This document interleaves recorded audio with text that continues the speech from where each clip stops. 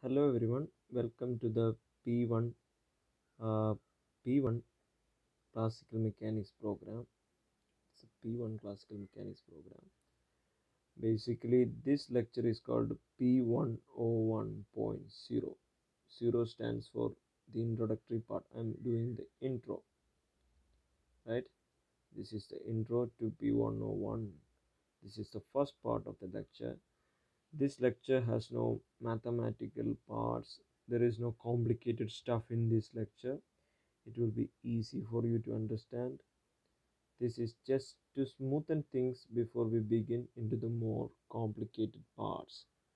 So as i have promised you that this lecture series will have a very elaborate expansion of what basic physics is so I will explain almost everything that is associated with the classical mechanics. We will start from the basics. We will get in the complicated part. Okay, in time. So, um, so uh, what I'm going to start off is now that I'm going to tell you something, some information regarding this series.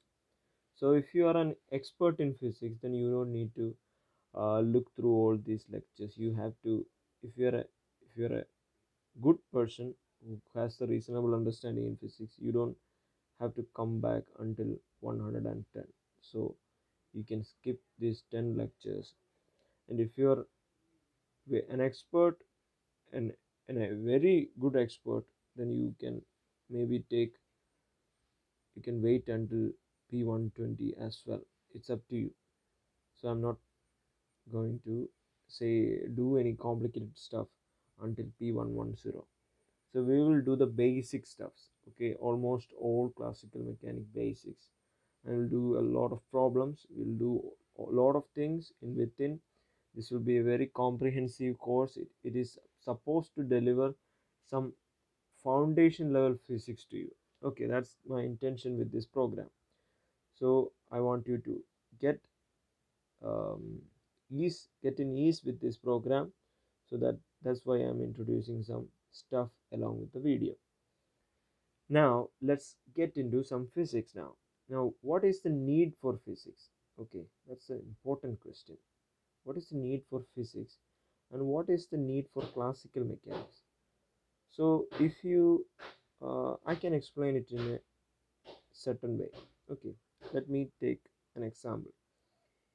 If you are standing in a plane in a place some place anywhere around the road anywhere. Let this be you or me whatever. Let this be the person. Now this person is standing at the point x. Let there be a ball a rubber ball or a football whatever. So this is at a distance d from the person. And you can what you can do now is is the first initiative in physics is that you can record all this information regarding the ball and the person and all the things that are surrounding them. So you can record like uh, digitally or in a paper or mathematically which is what we are going to do with this program. In physics we look at things mathematically. So you can record all this information. You have recorded. Okay now someone came in and kicked this ball in this direction. So the ball is shifted to this place. Okay. Now the distance traveled by the ball is x and this distance let it be d dash. Okay. So what happened to the information that we have collected? What happened to it? Well the information has become something else. Well not completely different but it has become something else with an additional factor of position of this inside. Okay this factor came inside. That's what happened.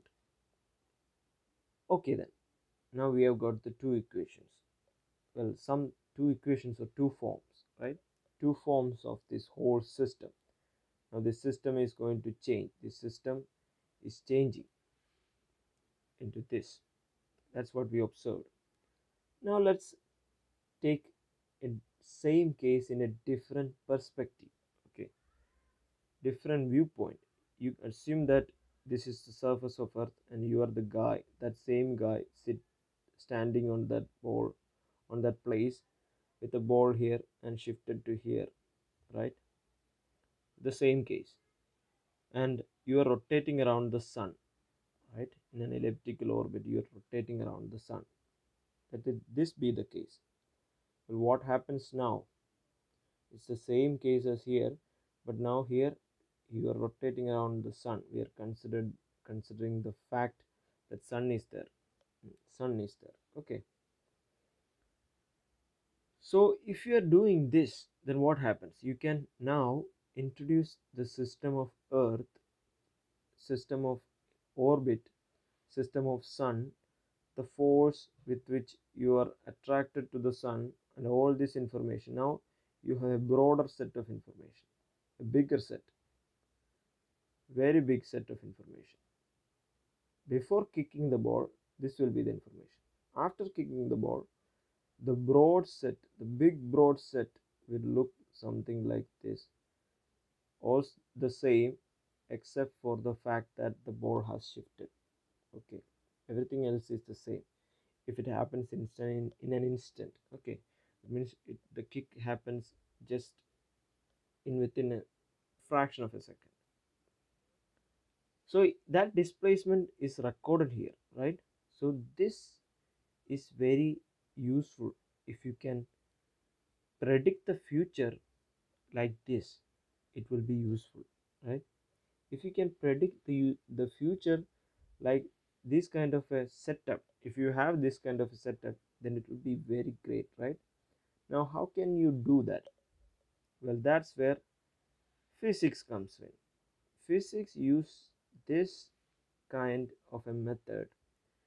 Classical mechanics purposefully deal with this kind of a situation. You are going to handle this kind of a case where you devise a set of equations some equations that can explain the situation that is happening. And you have another equation for a different state right? For a different state you have another equation and for the same state it, you have a different equation. So this difference can be compared and it can be used to predict the future. That's the most important part. You can predict the future by looking at the equation that's the use of physics. Now with that aside okay if you keep all that thing aside now i'm going to introduce you some different thing one different small thing along with this video which is called if you let's take the same case okay you are here x is the place there is a d and the ball and there is the ball here and this d dash.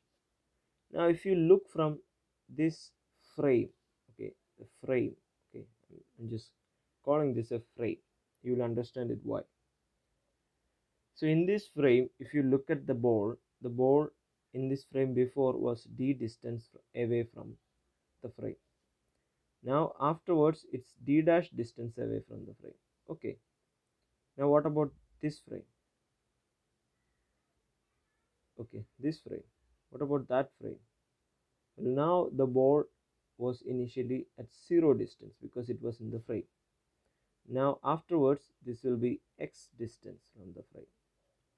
So depending on the frame from which you are looking at things things and physics will change. The physical laws can change. Right? The laws can change. The equations can change okay.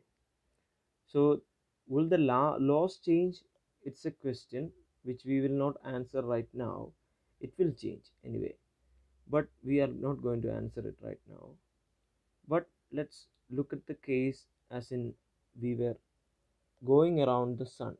Now look at the sun.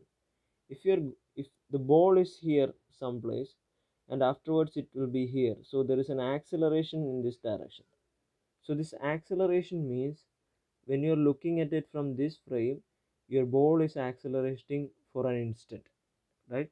After sometimes it comes to a different state. So the velocity is increasing for a particular second.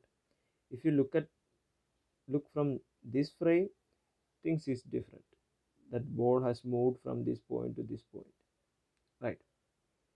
Now as the frames are there like there is a frame with which you can look at things. Now my question to you is is there a frame in the world where you can sit and relax and everything around you will be the same or it won't change? Even anything moving will be the same. Is there such a frame is there such a frame where everything will be the same? Well there isn't.